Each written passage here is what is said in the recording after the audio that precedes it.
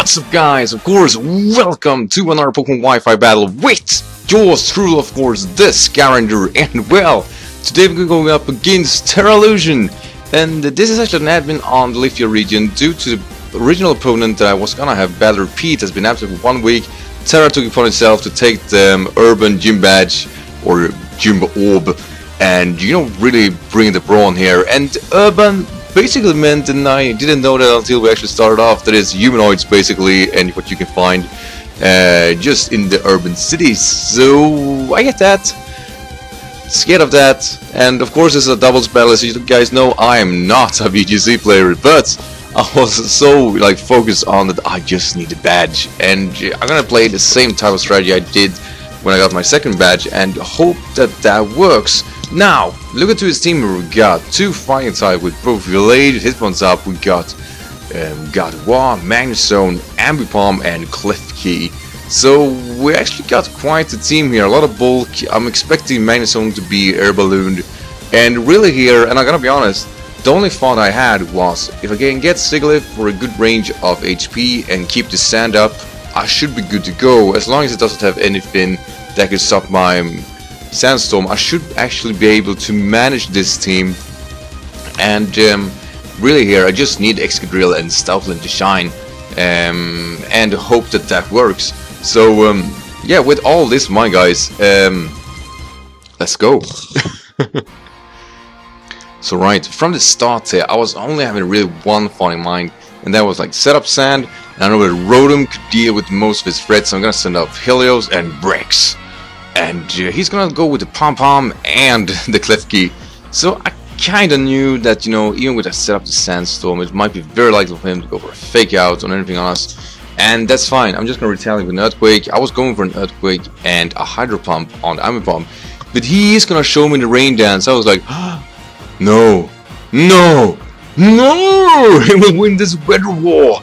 If, so I can't really sack Tyranitar because I did actually take away, and I can't resist this enough, I did take away my Powdon because, well, I really need a Ditto for this to the double battle, so that means that during this format I can't sack my Tyranitar. Tyranitar has to live, it has to die after the Klefki, so he can't stop the rain. And that was super annoying, so he's gonna go protect here, definitely walling himself. I decided to go for rest in case he went for a double punch or a double hit. So I knew I could kind of take those two and recover back on. So I pretty much waste my Chesto here while I'm back on track. It's it's not good. And of course the Earthquake here from Tyranitar, it's not going to do a whole lot to this Hitmonchan. He's actually eating that up. And um, I need to get out of here. I know he's going to go for the close combat. There is no way he would have no um, go differently about this. So I was thinking that he might sack the Ambipom or um, you know, um, it in. So I decided to go for a Hydro Pump, and it does a good chunk. That's easily 50%. But with the Sitrus, it's gonna come back on, and here's a close comment Sigilyph, which of course is gonna eat that because it's a freaking Sigilyph that everybody just loves it so much. And basically here, I wanted him to preserve his Gallade, you know, trying to force me to attack. So I decided to go for Thunder Wave on the Gallade, and I was really hoping it didn't have the Leaf Blade. And uh, yeah, he had that, and that roughly takes 50%. So I will outspeed here due to, of course, I pulling off a Thunder Wave on the Gallade. So I'm gonna go try to survive a potential Hyper Voice from the Gardevoir and you know T-Wave that thing too. Because if I you know turn down the speed on those, I don't really need the sand. Uh, so that was definitely a play I wanted to make. So it's going to Mega Evolve here. Mega Gardevoir, yes, what a pro, entering the fray with Hyper Voice, hitting both Pokemons. Um, it's gonna be generally dangerous. So Sigilyph does outspeed because it is faster.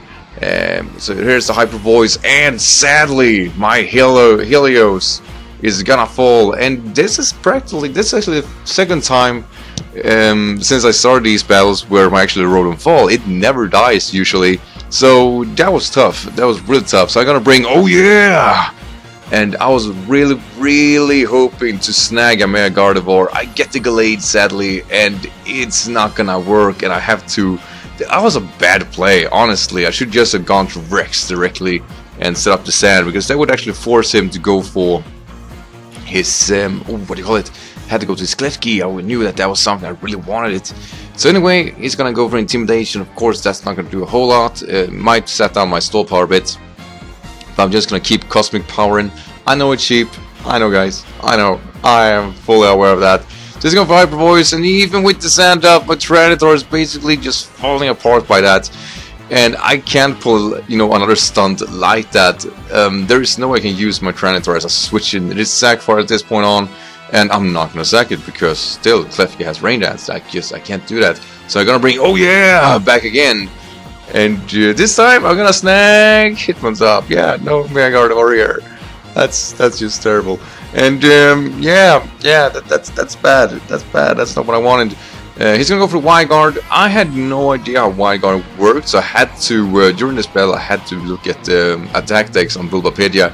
So it does defend from hits that hit multiple, like both targets. Uh, so that's good. That's actually good to know. So it doesn't hit a single use, but only with um, if they hit both. So that means that Wide Guard, if I use that with my, oh yeah, then I can actually defend us both from the Hyper Voice, but he will actually switch out, and that's bad. He's gonna go to his Magnezone, and what makes that worse is that I probably shouldn't go for close combat here on the Magnezone, because that would actually have worked much better. So I lose my oh yeah, so right now, um, we're actually 6-4-4 here, and that's that's bad. He actually has a lot of Pokemon left, and I don't. So I'm gonna bring Excadrill here, and um, actually, I was really, really hoping that my opponent was, uh, you know, in a sackish move, and uh, I decided here to go for an EQ. Um, so we're gonna go to Pom Pom, and um, yeah, this play is actually kind of bad. I should just have gone for an Iron Head or a Rock Slide, and you know, destroying the air balloon. I have no idea why I did not do that. And looking from this perspective, it's it's a very bad thing because I do go for the stored power or the cosmic power here. And he's going for hidden power fire of course and I probably should have suspected that and uh, my Excadrill is down for count but I did realize once that ha was happening that I might actually get Terra to play much more offensively you know stop walling if I lose my Excadrill. So yeah it might sound weird I know that but I decided that it's better if I lose his Pokemon. So I decided to go for single hits here for Iron Head because I did suspect the potential of um, uh, what do you call it, the Wide Guard. So you know that worked. I'm I'm quite pleased with that play, and I'm gonna lose Kaysure.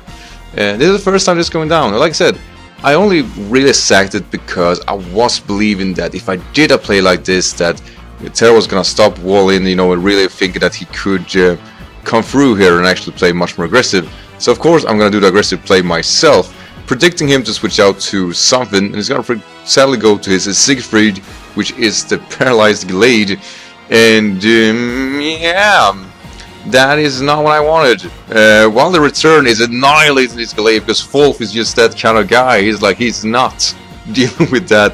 Um, I'm just I'm not gonna do any real damage here, and um, he's gonna get an honest chance here to bring the monster is Klefki, you know, get away the, um, I think it's gonna switch into Klefki, yeah, to get away the Rain Dance, and I was really fearing that, so he's gonna go for a Protect here with his Gallade, stalling out the turns here, while he goes for a Light Screen, and that was just like, oh, no. So now my Heat Wave will not do any damage, plus of course my return is not doing any damage to Gallade, so my main thought process was here like, alright, I probably need to kill the Klefki. He's gonna stall out his turns. I had that in mind that he, that is definitely what he's gonna do. There is no way he would have played like that if it weren't for that very reason. And there we have it. There is Rain Dance. So I'm gonna summon all my power. And I actually went for Magnusson, alright. so I, I did not have that idea right then there then. I got that idea once this was going on.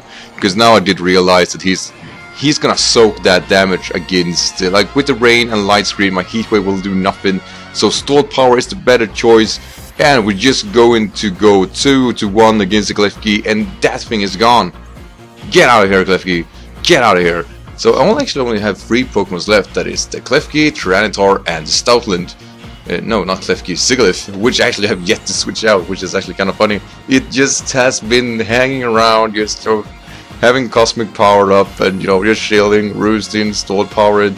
I love that guy. What a what a mean motherfucker, really. So anyway, he's gonna go for protect, probably predicting me to go for um, um for um return there because he might be built at speed.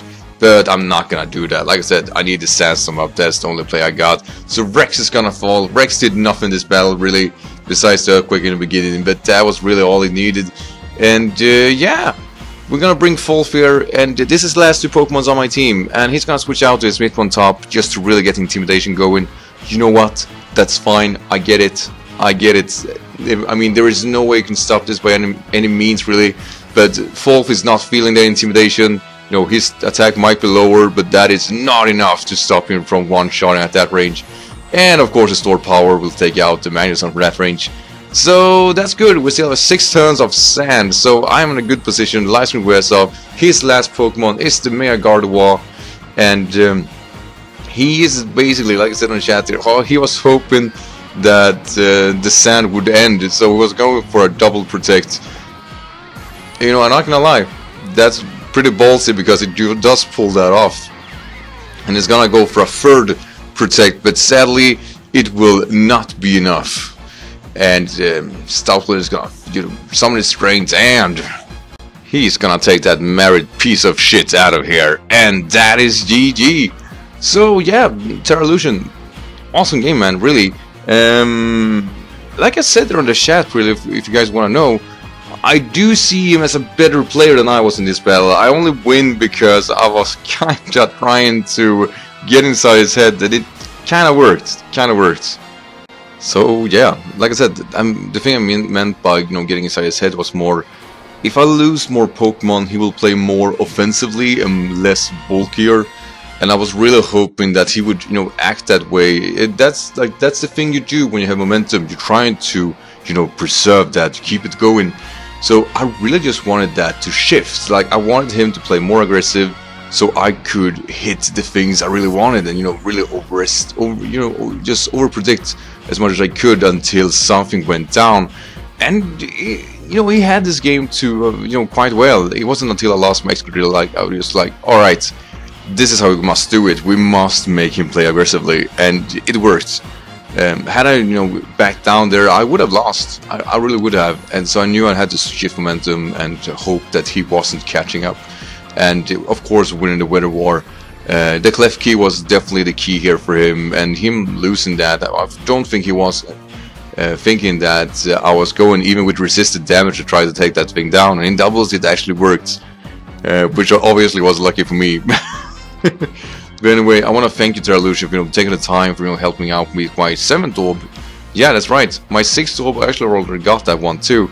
But um, I got that by uh, my opponent um, for illusion because of, I might as well up, update you guys on this. I got that due to where he had a faulty connection or we couldn't really battle because of the connection. So we pretty much ended on a note that um, I, I probably would have won in the end so therefore, um, I got to all because we had such an issue with the time zones, and you know, I proved my words so far. So he felt confident in giving me that, and uh, you know, I did not say anything against him. I, I thought, um, I definitely thought it was really nice of him of actually, you know, pulling a stunt like that. So for Illusion, thank you of course for that, and to Terra Illusion. Damn it, man! What a game! Um, I really like this one because, like I said, I don't play VGC, and I think you did the greatest plays ever. I just I shouldn't have won, but I did because of like I said I tried to do something different and it might just have been enough to you know come through eventually. Um, but yeah you played a great game and uh, I wouldn't have it any other way. So I want to thank you everybody for watching of course. If you like this battle make sure to leave just that a like.